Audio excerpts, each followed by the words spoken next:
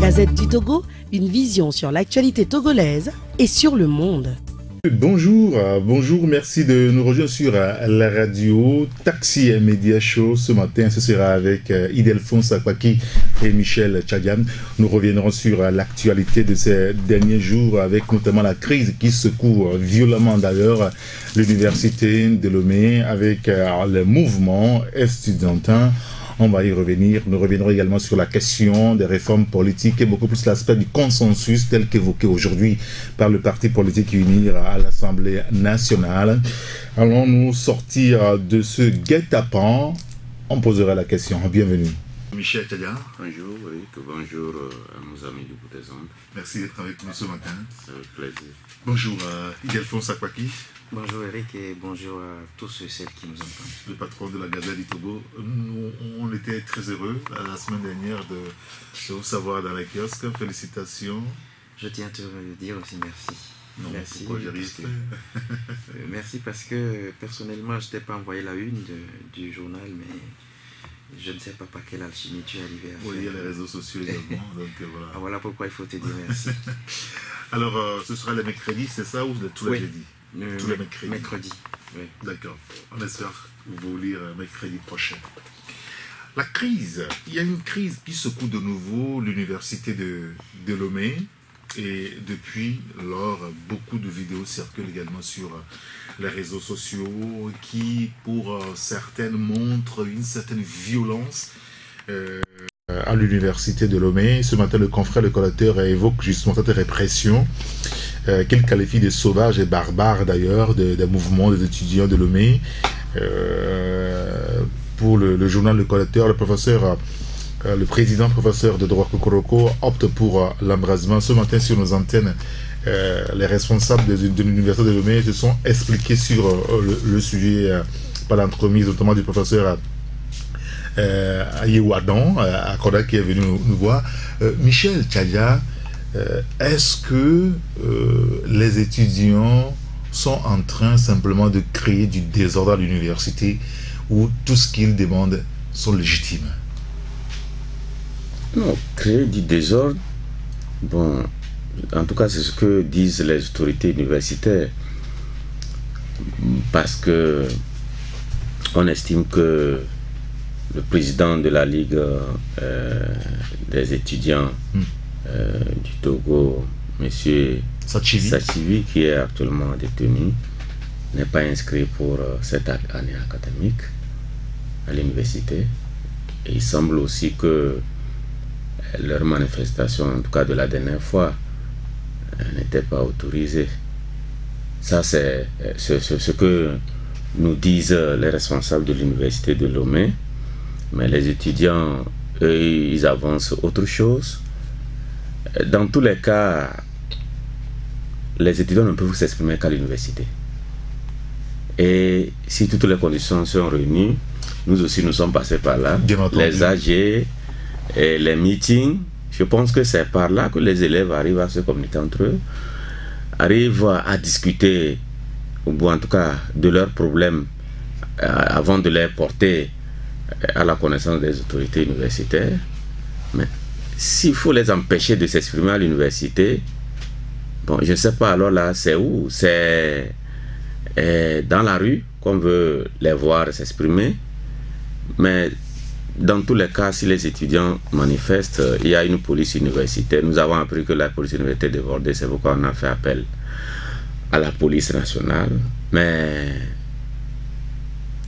s'il faut encadrer ou s'il faut disperser les étudiants, je pense que il y a des méthodes. Je n'apprends rien à la police nationale. Ils ont, c'est des gens. Ils sont formés. Ils sont formés pour ça. Comment gérer une manifestation pour qu'on n'arrive pas, en tout cas pour qu'on arrive euh, à des situations comme ce que nous avons connu euh, la dernière fois. Et si ce que les vidéos sur les réseaux sociaux montrent, parce que moi j'ai fait extrêmement attention euh, aux images qui circulent, parce qu'on sait comment les gens truquent les images, on sait comment les gens transposent les images. Si les images qui circulent, si elles sont vraies, je pense que les étudiants, c'est pas des biches qu'on pourchasse comme ça en pleine bourse pour les réduire euh, à néant. c'est la relève de demain, on le dit. Mais je pense que si il y a en tout cas des débordements, il y a une manière de gérer ces débordements-là. On a eu le sentiment c'est que, ce que les étudiants... Et jeudi et vendredi dernier que la police nationale était débordée, elle a perdu tout contrôle, euh, tout sens, euh, je dirais tout contrôle, et donc on est allé à l'excès. Mais ce n'est pas normal. C'est ce que tout le monde euh, déplore. On a perdu le sang-froid, je veux dire. Oui, c'est ce que les gens déplorent. La police, quand elle est appelée, elle a quand même le devoir de maintenir l'ordre. L'université, euh, on la connaît, on sait quand même, euh, on connaît les portes de sortie, tout. On sait comment encadrer les, étudiants pour que qu'il n'y ait pas de débordement. Mais nous n'étions pas sur le terrain, nous ne savons pas dans quelles conditions les choses euh, se sont réellement passées. Mais dans tous les cas, nous déplorons des blessés et autres dégâts. On pourrait éviter tout ça là parce qu'en réalité, ce que les étudiants demandent, euh, quand vous analysez les choses avec minutie, c'est vrai que les, les, autorités universitaires euh, font beaucoup, surtout avec l'arrivée du professeur Kokoroko, mais euh, les besoins sont encore immenses. Et donc, ce qu'ils demandent, ils ne demandent pas, en tout cas, le soleil.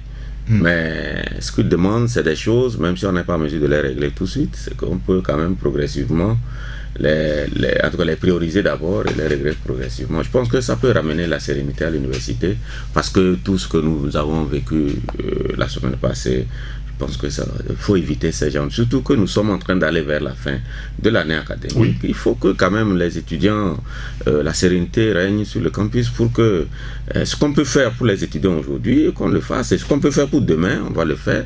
Et on n'a jamais résolu tous les problèmes s'il y, a les responsables, c'est qu'il y aura toujours des problèmes.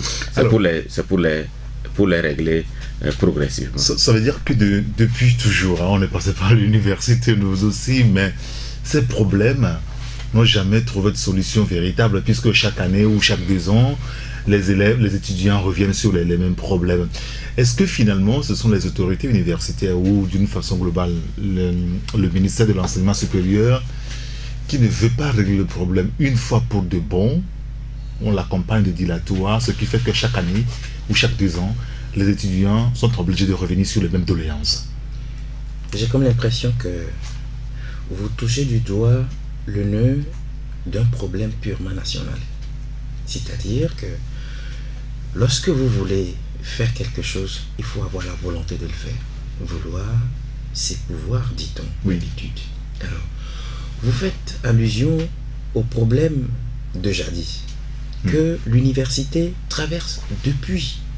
Alors, faites l'analyse de ce que si les autorités que nous avons en face de nous ont véritablement la volonté de résoudre ces problèmes-là, est-ce que ces problèmes ne trouveront-ils pas des solutions idoines depuis? J'ai comme l'impression que tout se fait sciemment. En, même temps, on ne peut pas dire avec certitude que les autorités n'ont pas la volonté euh, de régler les problèmes. Euh, ce matin, le professeur euh, nous, nous, disait quand même avec précision ce qu'ils sont en train de faire, là où ils veulent en venir, la bibliothèque qui est en train d'être équipée. voilà. Ça veut dire que beaucoup de choses en réalité sont en train d'être faites. Je, vais peut-être vous surprendre. Allez-y. Et puis, euh, moi, je m'en fous du, commentaire qui sera fait. Lorsque dans un État, dans un État, les premiers responsables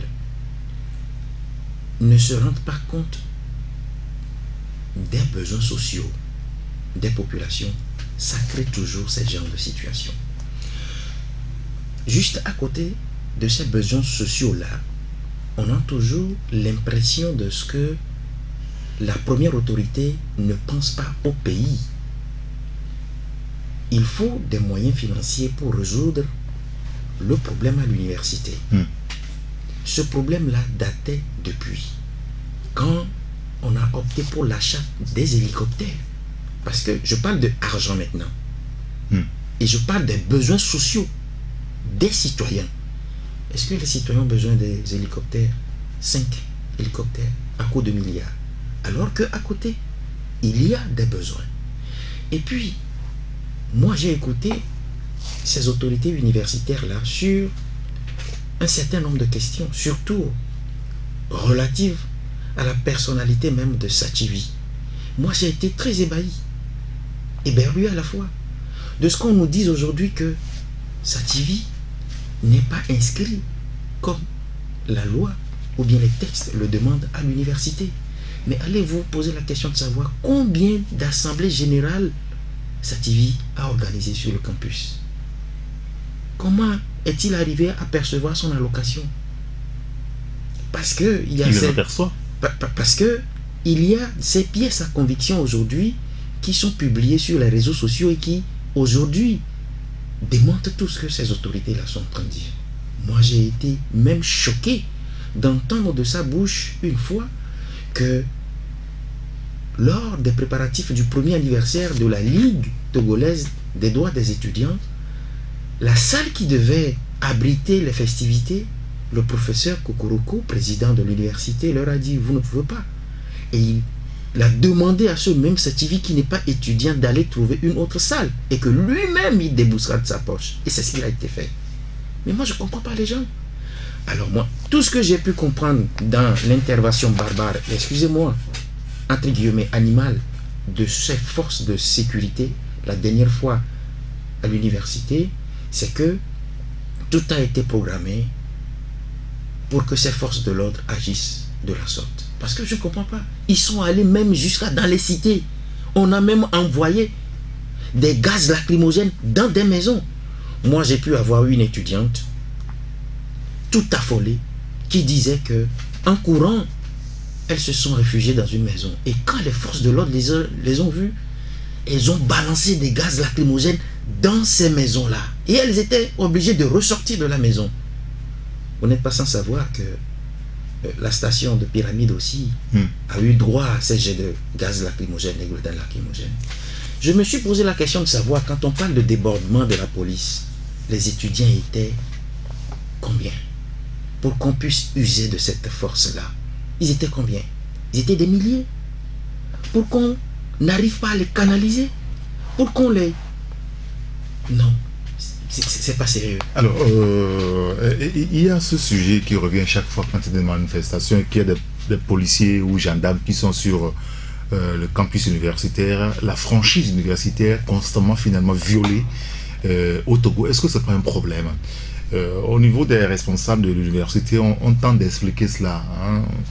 Euh, quand il y a catastrophe, quand il y a des menaces réelles, quand il y a des cassures, quand il y a... Voilà, on, est obligé de recueillir des, forces extérieures. Est-ce que vous comprenez ça, Michel? Non, cela ne date pas d'aujourd'hui, tu le dis. Nous, quand on était en Roman, j'ai passé 5 ans à l'université de Lomé, quand nous étions là-bas aussi. C'est la même chose que nous, nous aussi on vivait. Euh, la franchise universitaire a été constamment violée, malgré toutes les protestations, que ce soit de la part des associations des étudiants ou des associations de la société civile en ville, qui quand même euh, de temps en temps lèvent le temps pour dire euh, mais on doit arrêter tout ça là. Mais ça a toujours continué jusqu'à présent. Tu l'as dit, je pense qu'il revient aux autorités universitaires de savoir, euh, en tout cas, gérer ce genre de situation. Faire, faire en sorte que, parce que la police universitaire, elle est faite pour, euh, en tout cas, non seulement la sécurité euh, de l'université, mais aussi pour gérer des situations comme ce bien elle n'est plus capable de gérer mais selon les, selon les responsables euh, de l'université, il paraît que eh, la police universitaire était débordée, c'est pourquoi ils ont fait appel à la police. Mais lorsqu'on fait appel à la police, je pense que eh, ils ont affaire à des étudiants et les, qui, ont, qui sont les, mains nues. Hmm. Et donc, euh, pour gérer ces situations-là, je pense que c'est pourquoi je le dis, je n'ai pas de leçon à donner à la police. C'est des gens qui sont formés, qui font leur travail depuis des années. Et je pense que quand il y a des situations comme ça, euh, il, revient à eux de savoir comment s'y prendre pour ne pas créer aussi des dégâts collatéraux qui, euh, au finish, en tout cas, décrédibilise les, non seulement les responsables de la police, mais aussi les autorités universitaires. Aujourd'hui, le problème qui se pose, c'est que moi, je ne suis pas aussi trop je ne vais pas aussi être trop dur comme euh, Alphonse euh, le dit envers l'effort de sécurité, parce que euh, j'ai l'impression que si une situation ne va pas, il revient à nous, en tant qu'hommes de médias, d'attirer l'attention des uns et des autres sur la nécessité de préserver la paix civile, qui est indispensable. Oui, cette civile-là, est-ce que cela ne passe pas aussi par cette forme de retenue, même si on vous envoie sur le terrain en tant que... Oui, forcément, oui.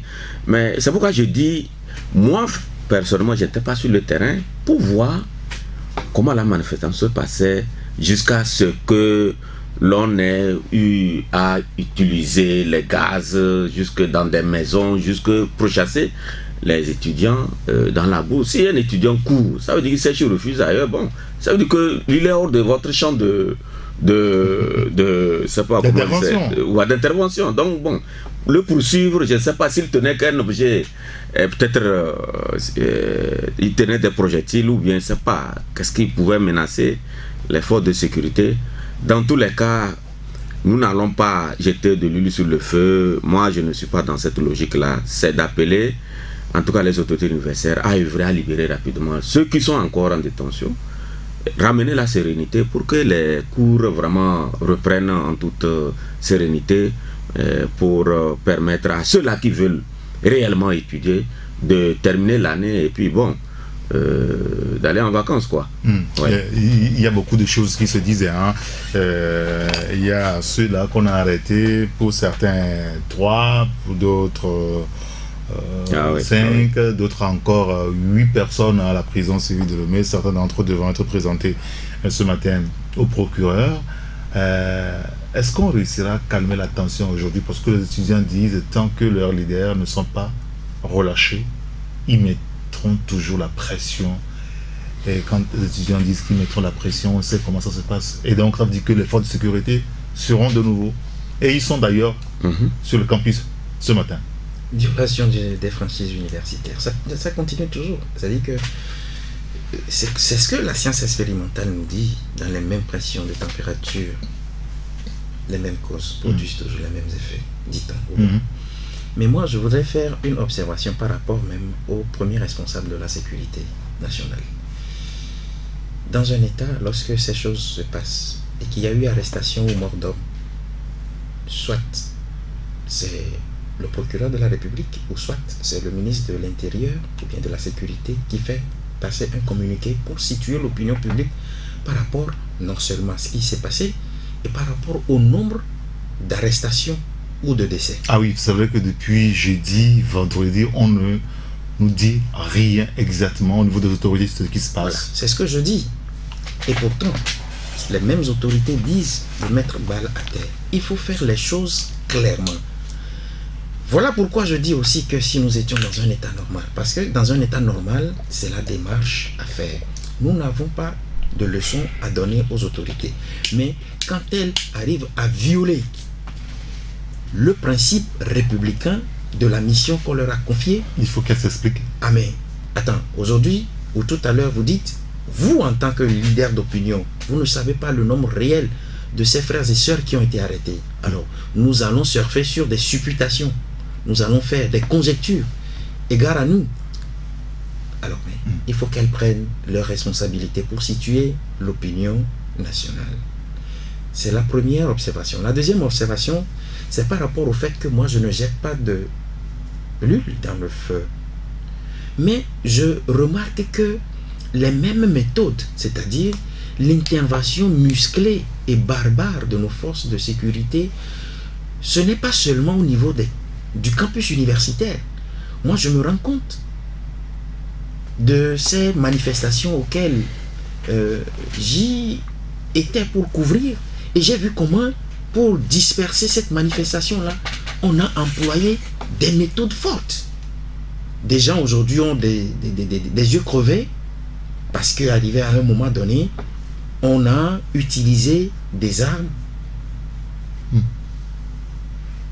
quelquefois à balles réelles, quelquefois à, à balles blanches, car en cartouche, on a crevé des gens. On a réduit aujourd'hui des gens à des malades à vie. Mais c'est de ça qu'il s'agit. Voilà pourquoi je pose la question du nombre des étudiants. Puisqu'on nous dit que la police universitaire a été débordée et on a fait appel à la police nationale. Encore, reste à savoir si ceux-là qui étaient sous l'habit de ces euh, policiers-là sont réellement des policiers. Parce que, il arrive qu'on les habille. Euh, non, mais dans ce pays, on a vu des, corps. Euh. On a vu dans ce pays des militaires qui ont été transformés en policiers, qui se sont arborés des habits des gendarmes et des policiers. C'est ça, c'est des, c'est des réalités. Nous devons avoir le courage de le dire. Et ils le savent très bien. Ils le savent. Alors, cette, euh, cette, affaire des étudiants repose aussi le, problème de, de l'éducation au Togo dans son ensemble. Aujourd'hui, les étudiants réclament un, mieux-être, meilleures conditions de, de, vie et de travail quand on parcourt leur plateforme. Les examens de fin d'année démarrent à partir de demain. Est-ce que à la fin, avec tout ce que nous avons connu au Togo, est-ce que nous aurons euh, je dirais, une fin d'année heureuse pour les familles, à votre avis, Michel? Mais tu veux me transformer en, en, prophète ou en devin ou je ne sais quoi? Moi, je peux pas. je ne sais pas comment l'année euh, va finir. Je ne sais pas si elle sera heureuse. mais, cette on, année. On, sait, que début d'année a, été franchement perturbé. Oui. Et les cours ont été difficilement donnés. Oui, parfois. Après, les, les enseignants sont revenus. Mais toujours est-il qu'il y a eu quand même un manque au début, oui. difficile à combler à la fin. Est-ce que nous aurons des Togolais bien formés cette année à l'école? Est-ce que c'est cette année qu'on peut, qu'on peut poser cette question? Ce n'est pas cette année. Il y a de cela quelques années, c'est la question que tout le monde se pose. Ce qui s'est passé au cours de l'année scolaire, ça peut agir sur l'issue des résultats, ou ça peut être, euh, en tout cas, ça peut surprendre aussi. Les résultats peuvent être très intéressants. On ne sait jamais, on ne sait pas comment les épreuves sont montées et tout, mais dans tous les cas, les élèves doivent composer. Euh, ça, le bal euh, a été ouvert ce matin par euh, nos, petits frères ou nos, enfants de, de, la classe de première. Et ça va, ça va se poursuivre dans tous les cas, tout le monde sait, même le ministre des enseignements primaires et secondaires sait que l'éducation au Togo a un problème. Et il faut résoudre ce problème d'une manière globale. Je pense que c'est la réforme de l'éducation dont tout le monde, tous les Togolais attendent. C'est de ça qu'il s'agit. Il faut réformer carrément l'éducation. Qu'on ne forme pas les gens en l'air comme ça. Il faut quand même que l'éducation soit centrée sur ce que l'élève où l'étudiant sera amené à faire demain. C'est de, ça qu'il est question, comme ailleurs. Qu'on forme les gens, bon, en l'air comme ça, euh, lorsqu'on vous lâche, vous ne pouvez rien faire. Non. Il y en a plein à l'université aujourd'hui. Oui. Vous sortez, vous ne pouvez rien, on vous met devant, les, devant une situation, vous allez, vous, vous ne pouvez rien. C'est ça. Quand on avait annoncé les, les états généraux de l'éducation, c'est ça à quoi moi personnellement je pensais même. Malheureusement, on ne nous a rien dit. Pourquoi ces états généraux-là n'ont jamais eu lieu jusqu'à présent? Alors que tout le monde sait que peut-être c'était le passage obligé pour euh, peut-être euh, permettre à tous les techniciens, les pédagogues et autres de l'éducation, les psychologues, de pouvoir diagnostiquer les vrais mots qui minent l'éducation nationale et tracer des pistes claires pour euh, la relance de l'éducation, pour l'intérêt et des parents et des élèves et même des enseignants. Aujourd'hui, on a, on a juste euh, fait euh, repousser légèrement l'année. Bon, Dieu seul sait si ça a permis de corriger un certain nombre de manquements. Parce que, rappelez-vous, l'année dernière euh, ou l'année d'avant, lorsqu'il y a eu encore ce mouvement-là, on disait aux élèves, rassurez-vous, vous ne serez pas interrogés sur les cours que vous n'aviez pas Mais en, en, réalité, en réalité après, c'est dangereux. Ce que, comme disait à l'époque, là, c'est dangereux. Mais si vous avez fait un search avant vous interrogez, vous allez en classe supérieure. Oui, si, si, vous pouvez, ça veut dire que vous avez un manque criard à combler. Vous n'allez pas vous retrouver dans la classe supérieure. Ça veut dire que, est-ce que... Parce que quand le découpage de l'année académique est clair, il y a, les, il y a des programmes hmm.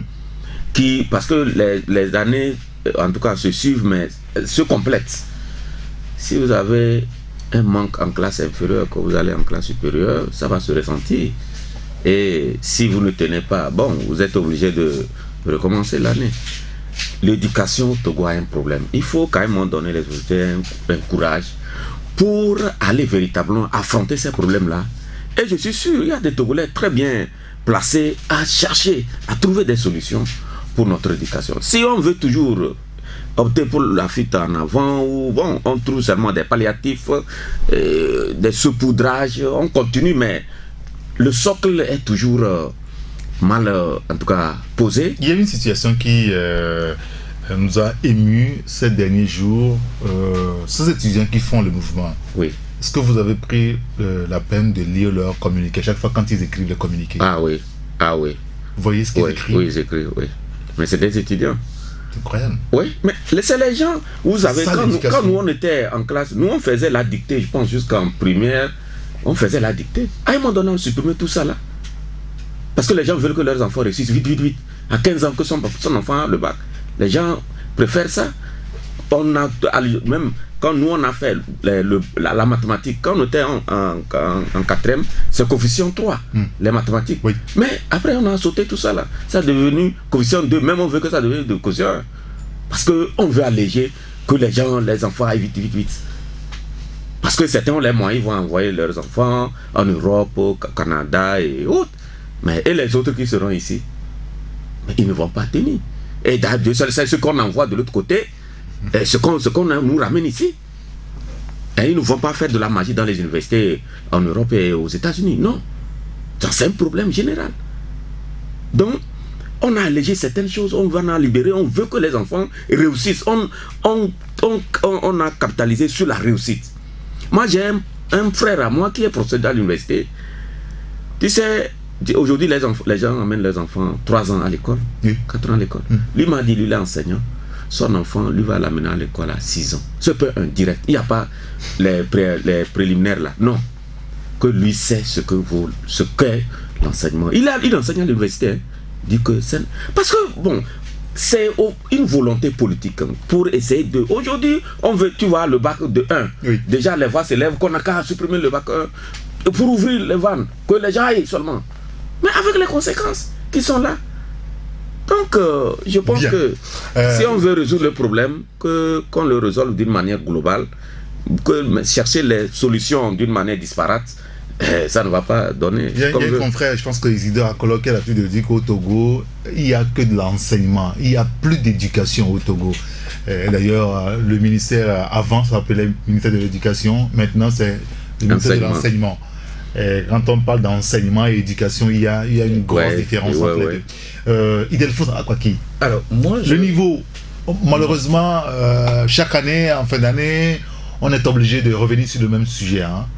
Je dis, la question que je me pose, c'est de savoir si les premières autorités, les premiers responsables de l'éducation au Togo, s'il y en a encore, hein, est-ce que c'est dans ces conditions-là qu'ils ont étudié? Moi, c'est la question que je me pose. C'est dans ces conditions-là qu'ils ont étudié pour être là où ils sont aujourd'hui. Première remarque. Mais moi, je trouve également que nous sommes en train de gaspiller notre énergie quand nous parlons de l'éducation au Togo. Vous savez pourquoi? Lorsque le premier responsable de cet État-là, homme d'État, hmm. qui doit normalement être homme de parole, dit qu'il faut faire les États généraux dans l'éducation, je crois savoir qu'on lui a fait des rapports sur l'état de l'éducation qui peut-être est en déconfiture. Et en tant que premier responsable, il a bien voulu mettre les pendules à l'heure. Mais au fil des années, puisqu'il a fait ce discours-là depuis 2013, je crois. Oui. Au fil des années, on s'est rendu compte que sa promesse n'est devenue qu'une démagogie. Et pire, un ministre de son gouvernement qui a été reçu sur le même sujet dit l'éducation n'est pas la priorité du gouvernement. Je voudrais parler de M. Bawara. Alors, lorsque des gens comme M. Bawara parlent, je vous dis, il faut faire extrêmement attention à ce qu'ils disent, parce que c'est vrai. J'en ai juste pour preuve. Quand il a dit entre-temps, la page des réformes hmm. est fermée. Jusqu'à aujourd'hui, on en parle encore et on s'en fout. L'éducation dont vous parlez, il a dit, je ne sais pas si vous êtes au courant de ces propos-là. Est-ce que vous l'avez écouté? Moi, je l'ai écouté et j'ai été surpris. Maintenant, la question qu'on se pose, quel genre d'élite veut-on former au Togo? Si déjà, dans nos écoles, les villages, on met ENT, je l'avais dit entre-temps ici, on met ENT, et vous avez tout à l'heure fait allusion au communiqué des étudiants qui regorgent de grossièreté. Hein. De grossièreté terrible. Terrible. Alors, mais la question aujourd'hui, c'est... Et là, quand je dis que nous sommes en train de gaspiller notre énergie, c'est que je vous mets devant le fait, les promesses du chef de l'État et la réponse de son ministre. Tout ce que nous faisons ici n'est que de l'eau qu'on verse dans le dos du canard. On va marquer une pause pour le journal avec Amena Signon. Juste après, on revient en studio. On pourra continuer le débat et après évoquer aussi la question des réformes et le fameux consensus qui est évoqué depuis plusieurs mois déjà, avec insistance ces derniers jours par le groupe parlementaire UNIR sur nos antennes ici. Euh, M. Christophe Chao est revenu longuement là-dessus. On va y revenir tout à l'heure. Merci, euh, merci beaucoup Idelphonse et Michel. À tout à l'heure. Autour en studio avec euh, Idelphonse Akwaki, le patron du journal La Gazette du Togo, euh, et puis Michel Tchadia, le patron du journal Waral Les Vainqueurs. je voudrais d'abord avoir votre avis sur le congrès de la Fédération togolaise de football qui se prépare, ce sera le 24 prochain à Nochin. Euh, un congrès qui se déroulera au moment où on évoque beaucoup plus le match Bikenti Maranata avec la suspension qui peut suivre ces deux clubs. Les deux clubs ont écrit à la fédération pour demander la levée de la suspension pour leur permettre de participer au congrès pour peut-être évacuer les difficultés à, ce niveau. Euh, visiblement, ça ne sera pas fait.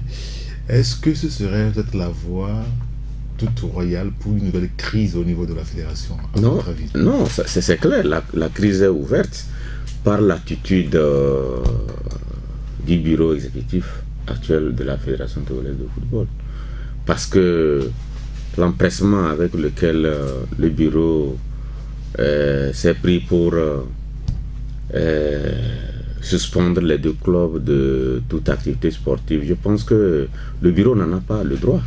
Le bureau peut juste saisir la commission d'éthique qui est là, qui, est, qui a été, ce, euh, cette commission d'éthique a été élue. Et quelque part même on dirait qu'elle est au-dessus même du comité exécutif. Donc, si la commission d'éthique là ne se saisit pas, le bureau exécutif de la fédération peut euh, euh, la saisir pour mener des enquêtes et vraiment voir euh, clair dans ce dossier-là. Mais euh, aller suspendre les deux équipes, je trouve que c'est une euh, erreur monumentale de la part du colonel Akbavi, sur qui je comptais beaucoup pour vraiment, en tout cas, pour booster le football togolais. Parce que en réalité, la fédération, les règles, en tout cas, les tests qui, sont là permettent à la fédération, peut-être pour des sanctions, peut-être s'il y a violence sur le stade et tout ça, on peut suspendre l'équipe pour euh, un temps donné, mais la fédération n'a pas cette euh, euh, l'attitude-là de suspendre les deux clubs. Et l'article 65 alinéa 4 que la fédération évoque, ça ne tient pas la route. Sincèrement. C'est pourquoi moi je dis que euh, c'est chez toi, j'apprends que le congrès doit se tenir à Noche. Moi, j'avais appris même ça à Kara.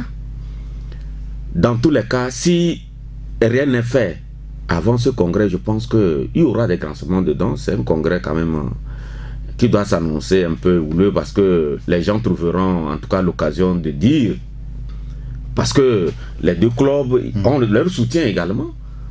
Parce qu'aujourd'hui, c'est Amaranata et Bikinti. Demain, on ne sait pas c'est quel club.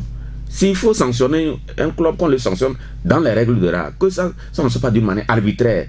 Ou bien, j'ai appris même que la commission d'éthique a commencé à écouter certains acteurs du foot, dont euh, le, le, le, président de Gomido. Gomido. C'est déjà faussé. C'est déjà faussé. C'est déjà faussé. Gomido n'est pas concerné. Oui, mais c'est la commission que vous voulez qu'on confie le dossier. C'est cette commission-là qui a commencé par travailler. Oui, oui, déjà, même cette commission-là, je ne la comprends pas. Est-ce que, vous savez pour quel sujet euh, le fait même de le oui le fait même de l'écouter et c'est sûr c'est dans le cadre de ce de cette affaire là puisqu'il n'est pas concerné par l'affaire il n'est pas concerné Gomido n'est pas concerné Dobaké n'est pas concerné par le problème euh, Maranata Bikinti alors ça a eu quand même une incidence sur leur relégation mais attention mais dans le cas d'espèce rien euh, en tout cas ne, matériellement on ne peut pas euh, juger de cela et aller l'interroger. Aujourd'hui, il faut en tout cas, en tout cas, Oui, mais, écoute, mais, euh, il ne faut pas qu'on abuse, euh, en tout cas, des acteurs du, de, football. Apaisement, comment? On ne peut pas créer des problèmes et demander apaisement, non. Je pense que s'il y a un problème, hmm. il faut chercher à régler. Bien. C'est comme ça, moi, je vois l'affaire. Le, le, il faut chercher à régler le problème là, moi je, je, veux, d'ici le, en tout cas nous sommes aujourd'hui au 19. au 19, il y a 5 jours euh, qui nous séparent du 24, nous allons voir si le comité va revenir sur sa décision ou pas. Si il ne revient pas, on verra l'attitude des congressistes en notre ce n'est pas loin, nous serons là-bas pour voir qu'est-ce que les uns et les autres euh, pensent de la situation. Et Delphine à quoi qui je ne suis pas tout à fait, ou bien je ne suis pas tellement euh, football, mais euh, avec des confrères sportifs, j'ai pu euh, écouter tout ce qui s'est passé dans cette histoire-là. Ce que j'ai regretté, c'est que les enquêtes n'ont pas donné de rapport avant qu'on ne sanctionne. C'est ce qui est un peu grave dans ces histoires. Parce que quand vous remarquez qu'il y a une erreur, avant de sanctionner, il faut aller au fond, savoir qui a fauté ou pas avant mm. de sanctionner.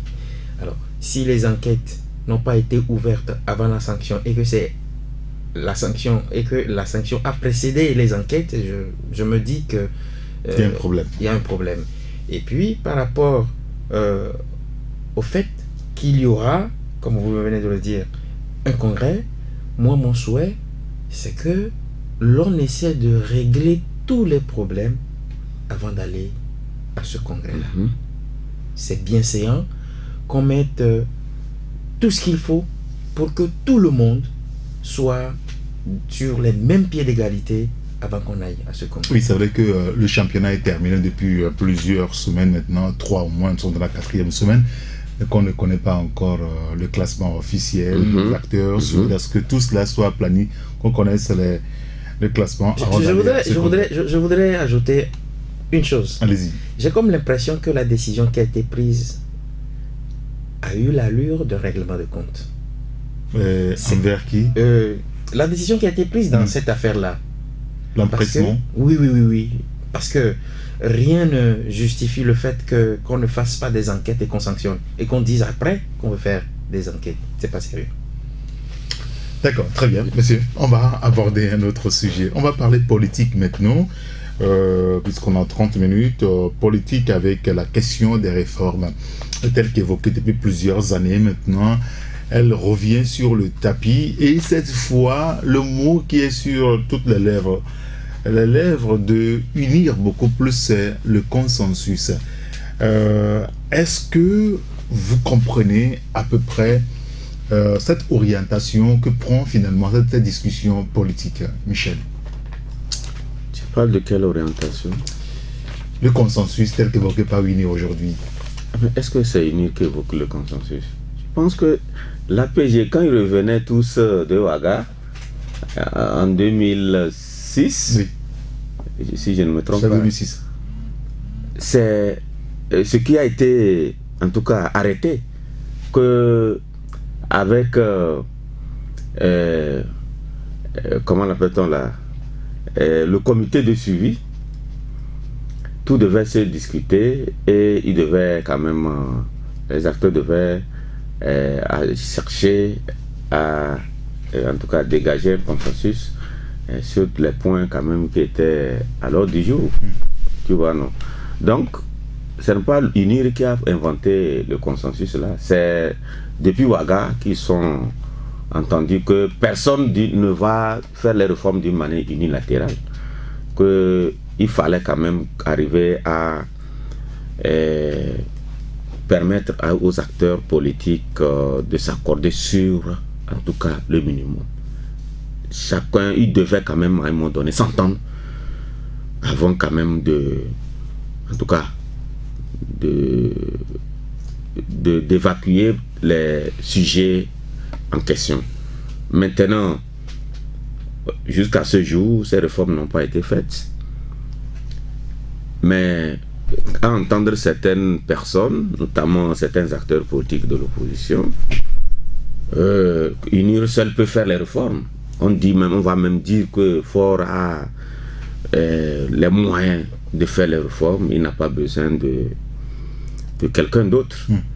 Alors que si ça doit se faire à l'Assemblée nationale, tout le monde sait que c'est les 4 5e des députés. Unir mécaniquement n'a pas le nombre de députés requis pour pouvoir passer à ces réformes-là. Donc il faut quand même discuter avec leurs confrères, euh, leurs collègues de l'opposition, s'entendre sur le minimum. Et le consensus veut dire qu'il y aura des négociations, les gens vont venir avec certains points mais peut-être qu'ils ne vont pas, qu'ils ne vont pas passer, et peut-être ils vont voir d'autres points passer. Ça veut dire qu'il y aura des concessions à faire de part et d'autre, et, naturellement ils doivent aller quand même à ce consensus. Alors, si aujourd'hui, euh, moi je suis mal à l'aise quand on dit que c'est UNIR qui parle de consensus. Le consensus est, en tout cas, c'est comme c'est euh, le ballon qui est au centre. C'est comme ça.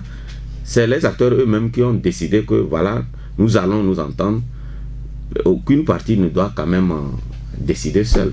Et donc, euh, l'opposition a des exigences, UNIR également a des exigences, c'est normal. Maintenant, au cours des discussions, eh, ils vont, ils, vont, ils vont dégager, en tout cas, ce qui est essentiel pour notre pays. Les réformes, eh, contrairement à ceux qui pensent que c'est limitation de mandat, le mot de scrutin a des tout, non, il y a plus que ça. C'est un éventail. C'est les, deux points essentiels euh, qui préoccupent beaucoup plus l'opposition. Eh, mais les autres points? Et les autres points? Tous les points sont quand même importants. Il faut quand même, c'est d'une manière globale qu'on peut régler cette affaire-là. Et donc, aujourd'hui, moi, j'ai l'impression que euh, l'espoir est permis parce que euh, il y a beaucoup de, il y a beaucoup de, de, de canaux Mm. Mm, qui pourront quand même aider les acteurs politiques. Si ce n'est pas l'Assemblée nationale, ça peut être le référendum. Il y a une commission qui, a, qui est en train de finaliser sa copie aussi, tout ça là, ça doit sûrement parvenir sur la table du président de l'Assemblée nationale.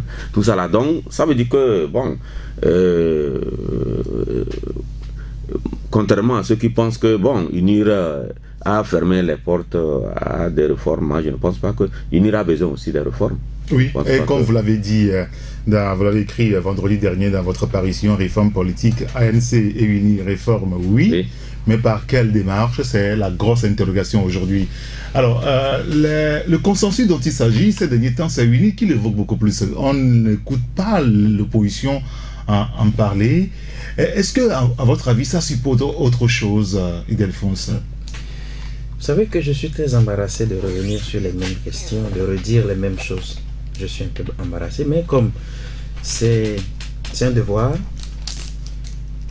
Michel a dit des choses, peut-être que je vais prendre le contre-pied de ce qu'il a dit, mais je suis d'accord avec lui que l'APG a dit que les acteurs politiques doivent s'accorder sur ce que vous venez d'appeler consensus. Nous en étions là le 20 août 2006.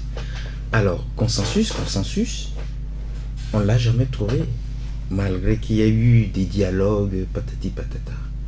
Mais moi, je suis aujourd'hui embarrassé lorsque unir parle de consensus.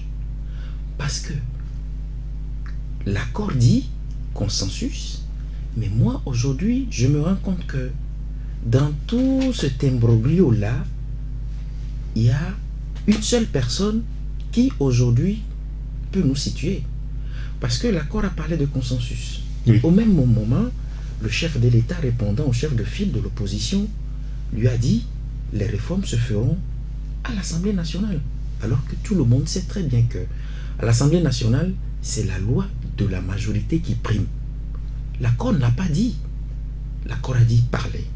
Maintenant, le consensus peut être de mise à l'Assemblée nationale si chacun essaie d'être honnête l'un envers l'autre. Je m'explique. Lorsque la proposition de loi a été faite par deux groupes parlementaires, et l'a dit, et l'ANC, et que unir qui n'est pas auteur de cette proposition de loi-là, lorsque je me suis référé au règlement intérieur de l'Assemblée nationale, il est dit clairement que celui qui n'est pas, ou bien le parti, ou bien le groupe parlementaire qui n'est pas auteur de cette proposition de loi, doit faire des amendements. Moi, je ne vois pas pourquoi aujourd'hui la loi dit que l'irrecevabilité même d'une proposition ou bien d'un projet de loi émanant du gouvernement est du ressort de la conférence des présidents.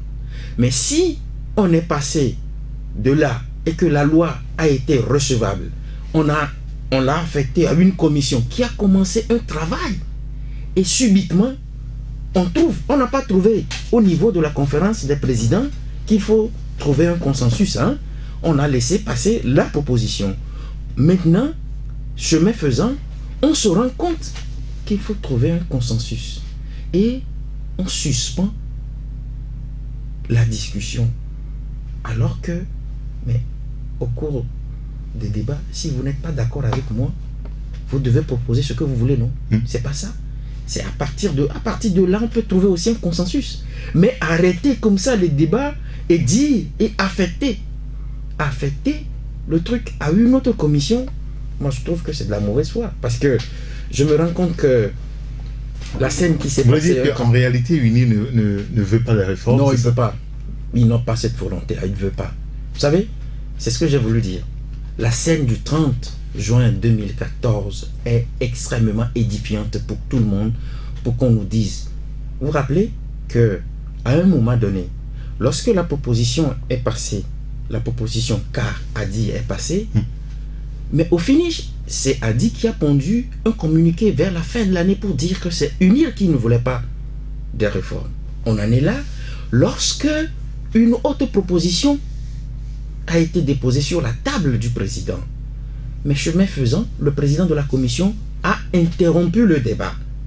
L'ANC était obligé de saisir la Cour constitutionnelle. Mais en même temps, quand on, suit les discours très bien depuis quelque temps de Unir, quand ils évoquent le consensus, c'est mettre la balle à terre. Eh. C'est mettre le compteur à zéro. Mais vous savez Est-ce que ce n'est pas ce que veut unir On le lui donne et le tour est joué. Je vais vous dire, hein, qu'est-ce qui empêche unir de faire une proposition de loi en mettant ce que vous, vous êtes en train de dire là-dedans? Pour qu'ensemble, puisque c'est des députés, hmm. et les, le, règlement intérieur de l'Assemblée nationale demande lorsque vous n'êtes pas d'accord de faire des amendements. Mais quand ils refusent des amendements, il faut qu'il se passe une proposition, non? Ce que vous êtes en train de dire là, est-ce que c'est sorcier qu'ils mettent dans une autre proposition de loi que nous voulons qu'on mette le compteur à zéro et le tour est joué Mais c'est ça, mon frère. Michel, alors à, cette allure, finalement, euh, le débat politique au Togo s'enlise. Ah oui, mais, mais ici c'est... qui cela profite-t-il? Mais je ne sais pas si ça profite. Si ça profite, peut-être pas au peuple. Pas au peuple, mais euh, moi je n'ai pas euh, jeté la responsabilité sur euh, un groupe donné. Je pense que c'est et l'opposition et unir, ça à eux de voir ce qu'ils veulent faire de nous. Parce que c'est trop simple de de dire que c'est unir qui ne veut pas, qui, que, euh, mon confrère parlait de la scène du 30 juin 2014. Je pense que mais, quand on amenait même cette, euh, ce projet de loi du gouvernement à l'Assemblée, tout le monde savait le sort qui devait être euh, réservé à, ce projet-là. D'autant plus qu'ils ils ont discuté à Togo Télécom, de, ils ne sont pas entendus. Donc tout le monde savait, ceux qui sont intelligents savaient que, mais ce n'est pas, c'est le, le, même truc que le gouvernement a fait, envoyer là-bas. Et vous pensez que s'ils ne sont pas entendus, le conseil n'a pas été dégagé au niveau de Togo, c'est à l'Assemblée nationale. Et puis, eh, aux dernières nouvelles, ce que nous avons pris, même la proposition de loi ANC a dit, mais il semble que ça reprend pratiquement ce qui a été fait en 2014. Mais alors. Ça veut dire qu'il n'y a pas de changement. Il n'y a pas de changement. donc, vous ne pouvez pas vouloir passer alors qu'il y a eh, un blocage quelque part. Vous voulez passer à tout prix. Vous savez qu'il y a un blocage. Pour lever ce blocage, c'est simple. C'est de discuter avec ceux qui sont en face. Et puis, dans tous les cas, quand Alphonse, euh, dit de, que pourquoi UNI ne fait pas des amendements, mais attends, mais le gouvernement a initié, a mis en place une commission. Mais si le, le, comment l'appelle-t-on, euh, unir croit à cette commission, pourquoi vous voulez lui enlever euh, cette confiance à cette commission? Mais si la commission amène sa copie. Est-ce que c'est pas une façon de léguer sa souveraineté non, à euh, quoi? Tirer du, peuple à une. Non, la commission, la commission, vous connaissez sa composition. Je pense que c'est des spécialistes qui sont là-bas. Les députés sont loin des intérêts égoïstes, partisans des hommes politiques. Élus, sont élus par le peuple. Je ne refuse pas. Mais que la proposition arrive à l'Assemblée nationale, la, copie arrive, et que les députés de l'opposition n'ont qu'à rejeter ça. C'est simple, non, s'ils ne sont pas d'accord. Moi, je dis, si la proposition là euh, comment la, copie de, la commission arrive à l'Assemblée nationale. S'il y a des amendements, pourquoi l'opposition, elle autre, ne veut pas faire les amendements? S'il y a des choses qui, leurs préoccupations, si ne sont pas prises en compte par euh, la, euh, comment l'appelle-t-on, le résultat de la commission, mais qu'ils fassent des amendements également. Et dans tous les cas, c'est à l'issue des discussions, il y aura des rapprochements. Et on peut aussi dégager pourquoi on veut que ces unir doit carrément se mettre au garde à vous par rapport à cette proposition de, de, de Non, ça dit que c'est sur un terrain politique, ne parlons pas comme ça. C'est un terrain politique et on doit arracher des consensus, euh, comment l'appelle-t-on euh, des, Comment on dit ça là Des des concessions de part et d'autre, hmm. justement, c'est ce que je voulais dire, des concessions de part et d'autre. Et tu parlais tantôt de mettre des compteurs à zéro. C'est une préoccupation de unir. Mais les, ses amis d'en face doivent aussi prendre en, considération. oui, on a, on a le eh. sentiment que c'est la seule et unique préoccupation de unir. Mais mettre le compteur à zéro. Peut-être c'est pas la seule. Hein. Oui, non, attendez. Mettre le compteur à zéro pour permettre euh, c'est entre autres à le champion de, de briguer d'autres mandats. Ah, bon.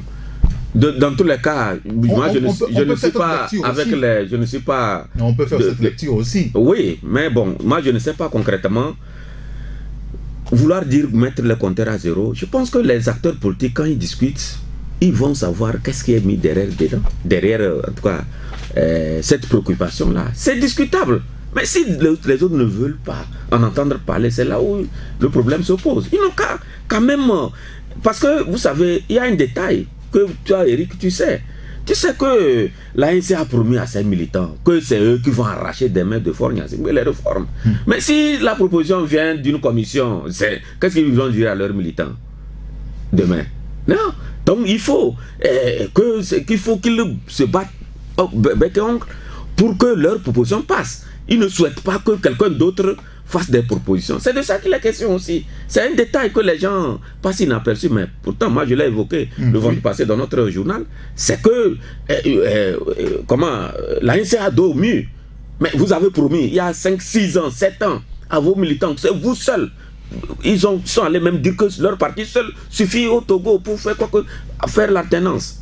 Mais ils disent qu'ils vont faire ils vont arracher les réformes dans les mains du pouvoir. Mais jusqu'à présent, mais c'est leur, euh, euh, en tout cas, inquiétude. Il faut que leur proposition passe. Sinon, si la commission euh, amène sa copie et que finalement c'est la copie, mais ils iront dire quoi à leurs militants? Mais vous nous avez promis pendant des années, mais vous n'avez rien fait. D'accord, oui, je, je voudrais faire quelques remarques. Comme d'habitude. La première remarque, c'est que nous devons avoir, en tant que journalistes à l'esprit, dans nos analyses, le fait du respect de la loi moi j'ai trouvé, et je trouve aujourd'hui, encore que c'était tellement incongru et saugrenu de la part de certains acteurs de UNIR qu'on pas aller. Non, non, excusez-moi, non, non, non, non, non, excusez-moi. Qu'un premier ministre issu de leur rang envoie un projet de loi sans consulter l'opposition, hein, puisque c'est le gouvernement qui a envoyé le projet de loi, le premier, qui a été rejeté. Je trouve que c'est incongru. C'est pas incongru. Ce n'est pas incongru. Michel, tout à l'heure, quand vous avez parlé, je me suis tué. Écoute-moi aussi, s'il te plaît. Alors, j'ai trouvé que c'était incongru de leur part parce que on n'a pas consulté l'opposition. Le PM n'a pas consulté l'opposition avant de faire cette proposition-là, avant d'envoyer le projet de loi. Et moi, j'ai été vraiment scandalisé de me rendre compte que ce sont les militants, même les députés de sa formation, qui ont voté contre, pendant que l'opposition votait pour. La deuxième remarque, c'est que quand vous prenez les règlements, de, les règlements intérieurs de l'Assemblée nationale, de l'article 82 jusqu'à 86, vous, serez, vous saurez très bien que il est dit, il est dit à travers ces articles-là que lorsqu'une proposition ou bien un projet de loi est rejeté, il faut un délai pour réintroduire. Oui. Alors, la même et la loi dit la même proposition de loi peut être réintroduite. C'est ce qui a été fait. Maintenant, la troisième remarque, c'est que... Avec quel résultat? Moi, je trouve un tout petit peu... Euh, je ne sais pas comment le qualifier. Que le rôle même d'un législateur, celui-là qui fait la loi, mais au Togo, j'ai comme l'impression que ce que nous avons là ne mérite plus d'être rappelé élu du peuple. Vous savez pourquoi? Parce que. Vous voulez qu'on les. Qu'on les. Non, mais il ne mérite pas. Qu'on les remplace Non, non, non, il ne mérite pas ça. Parce que. Non, mais moi j'ai des arguments, laisse-moi laisse aller. Lorsque je me rends compte qu'une institution comme la Cour constitutionnelle, qui se rend compte qu'il y a. qui constate comme l'opposition hmm. que la procédure a été viciée et qui ordonne la poursuite de la discussion au sein de la commission, lorsque la Cour constitutionnelle, cette juridiction-là, parle et qu'on se rend compte que des députés, des députés, je dis bien, hmm. ceux-là qui veulent qu'on les appelle élus du peuple, disent non. Arrête les travaux, enjoignent maintenant la proposition à un groupe qui n'est même pas constitutionnel. Et disent aujourd'hui qu'il faut remettre le compteur à zéro, tout comme si au Togo, il n'y a qu'une seule personne qui peut diriger le Togo. Moi, je suis... Quoi, pourquoi est-ce que vous avez le sentiment que c'est une seule personne qui peut diriger le Togo? Mais lorsqu'on dit de remettre le compteur à zéro, hmm. lorsqu'on dit de remettre le compteur à zéro, c'est pour permettre à qui de remplir au nom de Unir. Tout comme si ceux qui sont membres de cette formation-là sont des incapables qui ne peuvent pas, qui ne peuvent pas eux remplir non, le débat n'est pas à ce niveau. Non, j'en viens. Le, débat, non, c'est lui qui veut choisir les candidats de unir. non, tout le monde le sait. Tout le monde le sait. Parce que cette histoire de. Euh, compteur à zéro. Compteur à C'est pour Fournier Singbe. Mais, écoute, lorsque la proposition de mettre à entre, entre, temps, hmm. La proposition de mettre à entre temps, qui demandait qu'on compte le mandat de M. Singbe à partir de 2010, et qui a été rejeté, je me suis posé la question de savoir, mais est-ce qu'on veut enlever dans la mémoire collective le fait que M. Ford Nassingbe soit arrivé au pouvoir en 2005 Pour qu'on dise que son premier mandat, il a commencé en 2010 Premier constat. Le deuxième constat, c'est qu'aujourd'hui, quand on nous dit qu'il faut remettre le compteur à zéro, et ils ont ajouté pour permettre à leur euh, champion de remplir mais je me pose la question de savoir si le seul, c'est lui le seul champion qu'on a là. D'accord, très bien. Delphine, on a compris euh, le fond de votre pensée, mais en même temps, euh, Michel, est-ce que ça ne pose pas un véritable problème? Quand on dit on remet le compteur à zéro, on comprend à peu près que ça peut être pour Foreign Singbe. Alors, je vais te poser la question comme Alphonse le, le soulevait tout à l'heure. Est-ce qu'il n'y a que Fort Singbe à unir aujourd'hui? Mais tu as réussi Christophe Tchao ici. Il fallait lui poser cette question. Peut-être moi, je ne suis pas de, de, leur formation. Je ne sais pas comment ça. Nous sommes des journalistes. Nous sommes des journalistes. Donc, moi, je ne, je ne, maîtrise pas. Je ne sais pas s'ils ont, en dehors de Fort s'ils ont un autre candidat. Mais c'est une formation politique qui se défend, qui a des propositions, qui a, qui a comment l'appelle-t-on là, une orientation politique à défendre. Et ça, c'est clair. Personne ne peut lui enlever euh, ce droit-là. Donc, euh, le fait de dire de mettre les compteurs à zéro, vous savez, quand vous prenez le Congo-Braza, par exemple, vous avez vu qu'ils euh, sont allés à un référendum. Et ils ont commencé comme si les compteurs sont remis à zéro. Ici aussi, peut-être, je ne sais pas comment ça va se passer. Si on va à un référendum où euh, à, l'Assemblée nationale, et si UNI arrive à obtenir les garanties nécessaires, mais on dit qu'on remet les compteurs à zéro. Bon, c'est les acteurs politiques qui peuvent quand même s'entendre sur, cet aspect de la chose, mais si on sort d'un référendum, c'est automatique. On n'aura pas... Ça veut dire que c'est une nouvelle république et que bon, tout le monde est clean clean et on y va. Et Donc, on va vers là aujourd'hui tel que les choses se passent. Eh, mais, si, en tout cas, moi, euh, j'attends la copie de la commission. Moi, je, je pour voir la réaction de, de comment de l'opposition et des de, députés aussi de Unis. Puisque c'est en ce moment, soit l'opposition refuse les débats sur, ce, sur euh, euh, la copie de la commission là, ou elle participe et on va voir s'il y a des choses qu'elle va réclamer, ou je ne, sais, je ne sais pas comment ça va se passer, mais dans tous les cas, mais face au blocage, euh, en tout cas euh, incessant, euh, j'ai l'impression que on pourra s'orienter vers un référendum. C'est aussi possible, c'est une voie. Si c'est à l'Assemblée nationale, il faut, comme je l'ai dit tantôt, il faut quand même qu'on arrive à un consensus. Et consensus veut dire des sacrifices des concessions. De part et d'autre. De part et d'autre. La question du, référendum, ça devait être euh, ce moyen-là qui doit départager finalement unir et, l'opposition sur la question de, réforme. Je crois, que... Donner la parole au peuple. La, la copie, hmm. la copie a été faite euh, au Congo où on est passé par la force. C'est dit que ça a été un passage forcé. Sinon... Passage forcé. Oui. sinon, l'opposition, là-bas aussi, n'avait pas voulu. Et on, sait ce que l'autre a fait de l'autre côté. Et je crois que c'est la même scène que l'on cherche à produire là. Je voulais revenir sur un fait. J'avais dit tout à l'heure, je précise, je maintiens que ceux qui aujourd'hui sont à l'Assemblée nationale là, hmm ne mérite plus d'être appelé élu du peuple. Et vous avez tiqué.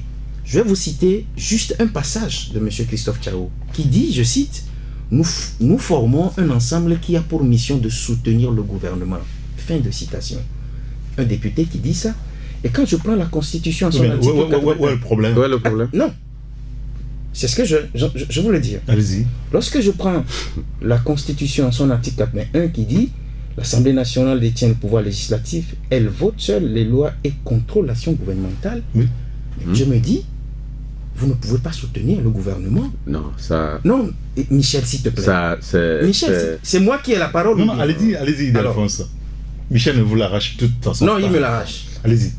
Soutenir et contrôler, c'est deux verbes bien différents. La mission que la Constitution a conférée à un député, c'est de contrôler l'action du gouvernement. Ce n'est pas de soutenir le gouvernement. Excusez-moi.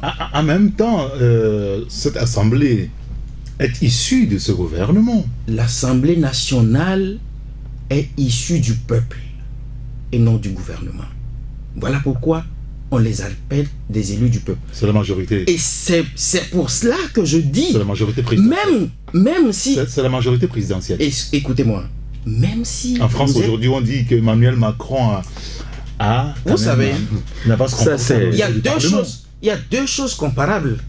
Deux choses qu'il faut comparer. On ne compare pas les tortues et les crabes. Hein. Excusez-moi. Je dis bien, la loi fondamentale togolaise fait obligation à tout député ou bien lui confie la mission de contrôler l'action du gouvernement et non de soutenir le gouvernement. C'est deux verbes bien différents qui ont des sens, qui ont des connotations bien différentes. Je vais donner la parole à Michel sur le sujet là. Michel, quel est votre avis sur ce sujet Non, c'est bon, je ne sais pas. Euh, ou bien peut-être je ne comprends pas très bien le français parce que une assemblée, je pense que avant d'avoir la majorité, c'est souvent à l'Assemblée nationale qu'on mesure ça. Et obligation de contrôler, c'est vrai, vous pouvez soutenir et contrôler. Le problème est où? Le problème est où? C'est comme ça qu'on nous avait dit ici en 2002 que l'Assemblée monocolore, allez-y voir euh, en France actuellement, c'est quoi? Ce n'est pas une, assemblée presque monocolore Hein? Ce n'est pas une assemblée monocolore là-bas. Là-bas, c'est en France. Ceux qui nous dictent, nous donnent la, la, de son. Mais voyez-vous, même on avait tablé sur 450 députés de, de, de, la République d'Emmanuel Macron. Et là-bas, ce n'est pas euh, euh, chose. Vous savez, on a le Togo a tellement évolué. C'est vrai que nous avons certains problèmes, mais progressivement, ces problèmes-là, nous allons les régler. On ne doit pas que les gens fassent l'effort de sortir de 2005 pour entrer en 2017. Parce que les gens jugent le Togo comme on était en 1990, 95, en 2000. Non, c'est fini. Il y a des choses qui se font que les honnêtes citoyens apprécient.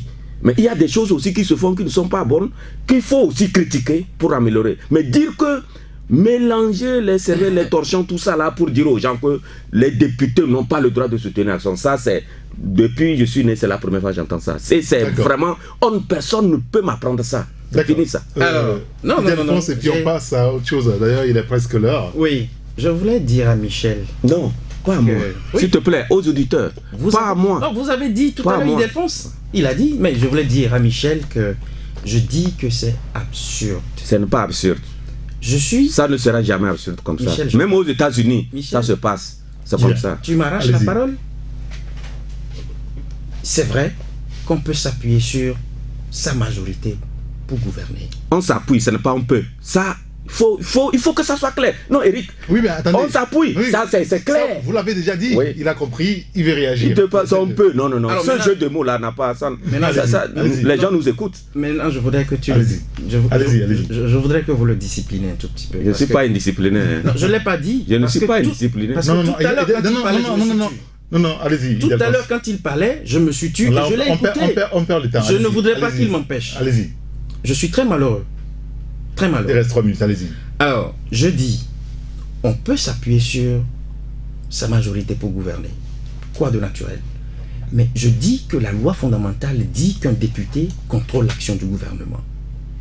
C'est malsain qu'un député vienne nous dire que nous soutenons le gouvernement, dans le mal tout comme dans le bien. Non, c'est ça que je dis. Parce qu'il faut faire la différence, la différence entre soutenir et contrôler. C'est ce que je dis. Et il faut que ça soit clair pour tout le monde que la mission première de tout député... C'est parce qu'on contrôle l'action du gouvernement que euh, si le gouvernement fait quelque chose de bien, on s'abstiendra de le dire, c'est ça? Il faut le dire. Je ne dis pas le contraire, il faut le dire. Mais en même temps, je dis que la mission, la mission première, hmm. je, je, ne refuse pas, mais la mission première que la loi fondamentale a conférée à la représentation nationale, hmm. c'est de contrôler. En contrôlant, mais excusez-moi, ce qui se passe aujourd'hui au Togo, où lorsqu'on dilapide, je dis bien on dilapide l'argent du pauvre contribuable togolais, lorsque le gouvernement se permet de faire des collectifs budgétaires, des collectifs budgétaires sous un sceau de mensonges, et qu'on se rend compte que l'argent est détourné à d'autres fins, je parle aujourd'hui de l'achat des hélicoptères, où un collectif budgétaire à coût de 10 milliards, je dirais, a été fait. On nous a dit qu'on a payé des, des, hélicoptères. Et qu'on se rend compte aujourd'hui, à travers les autorités françaises, que ces hélicoptères-là n'ont pas été achetés par le gouvernement togolais, comment un député peut contrôler cette action-là. Très bien. Merci beaucoup, on a, on a compris l'essentiel. Euh, le civisme, euh, la citoyenneté, euh, vous semblez écrire vendredi que le mal persiste. Il s'agit de quoi, Michel? Non, il s'agit du fait que notre vivre ensemble est mis à mal. Parce que nous avons développé un certain nombre de réflexes depuis un certain moment, depuis les troubles sociopolitiques des années 90. Le Togolais a commencé à développer certains réflexes qui ne sont pas du tout euh, euh, intéressants pour nous permettre de vivre dans l'harmonie. Vous sortez dans la rue, euh, vous êtes sur votre moto ou dans la voiture, mais pour, pour un oui ou un non, c'est des insultes. Oui. C'est des insultes. Des gens qui sortent leur zizi en pleine rue, les immédiats, c'est mes amis la plupart. Et il arrête la moto, il, comme il sort son mano, il commence à uriner dans les caniveaux et autres, au vu aussi de tout le monde. Vous allez à des endroits, on dirait qu'on fait concours d'exhibition des pénis. On ne sait pas pourquoi les Togolais se comportent comme ça. Vous avez vu au cours des manifestations des élèves, les élèves qui vont pour descendre les mains. Vous voyez? Euh, Il y a beaucoup de choses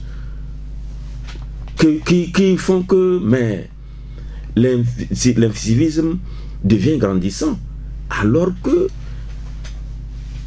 si l'incivisme est béant dans un pays, c'est que il y a certaines valeurs qui seront perdues. Et justement, nous sommes en train de perdre certaines valeurs aujourd'hui. L'irrespect de la chose publique. Les gens sont prêts à casser les feux tricolores. Comment restaurer cette, cette histoire-là finalement? Mais c'est l'éducation. Ah, on revient à l'éducation. C'est l'éducation. Tu as dit qu'il y a un confrère qui disait que il n'y a, plus, il y a que d'enseignement, hmm. qu'il faut de l'éducation. Faut les deux, il faut enseigner, il faut éduquer. Et c'est là où notre rôle de journaliste, je pense que le Premier ministre Vumbo avait quand même eu cette euh, clairvoyance-là de, nous, de trouver un petit projet que le tout-puissant Oumezounou est venu euh, suspendre. On ne sait pourquoi, il n'a rien dit à personne. En temps, j'avais appris que quand Madame eh, Madame Anate était encore à la communication. Elle se battait pour voir si on pouvait relancer ce projet-là, mais jusqu'à présent, rien. Il faut quand même que euh, les Togolais, quand même, euh, en tout cas, euh, reprennent leurs anciennes habitudes, le respect le, de la chose publique, le respect de l'autre. C'est très important. Très important. Merci beaucoup, Michel. Voilà, je un mot? Les populations sont à l'image de leurs dirigeants, dit-on. Merci beaucoup, Ildefonse Akwaki. Je rappelle que c'est vous le patron du journal de la Gazette du Togo. Merci, euh, Michel Tchalia, le patron du journal Loire à Merci de nous avoir suivis. Appelez-moi Eric Gatton. Euh, on se retrouve euh, une autre fois. Bonne journée. Au revoir. La Gazette du Togo, une vision sur l'actualité togolaise et sur le monde.